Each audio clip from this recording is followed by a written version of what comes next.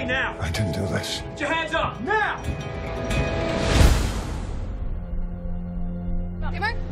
This film is always such a different experience from, from others just because we traveled all over the world together. So it's this feeling of, of family and, and people that I truly love. And so I, I just feel really grateful to get to come back. And Maggie and I have a lovely chemistry together. I think they have a really uh, wonderful rapport, Liam and Maggie in the movie. Liam's incredible. He's, he's been a big part of my life and a, a big influence, like not just as an actor, but as a person. When did you grow up, Lenore? I know.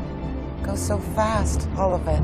And feel really blessed that he's in my life in this way. And I have the best fake movie dad I could ever ask for. Something terrible's happened to your mom. Dad, what's going on? This guy right here, he knows how to disappear.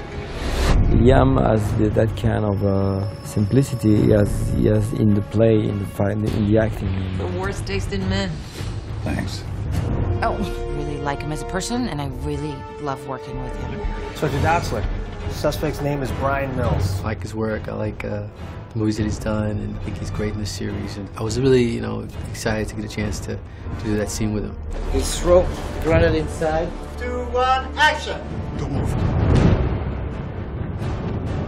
Forest was perfect. We always thought about it. When I read the script, I had just two names in, uh, in mind, and uh, my first name was Forest.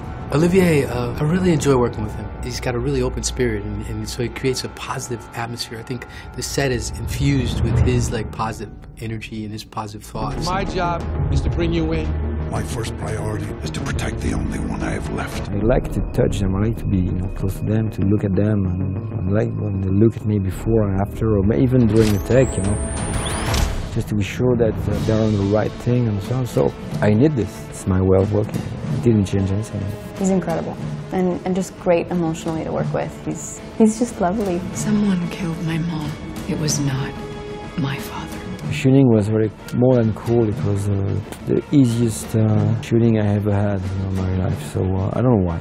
I cannot explain why. Just wonderful guys and great who are totally committed to the project. You know? It's real fun working out with those guys. I love you. They're all gonna come for you. They'll find you, and they'll stop you.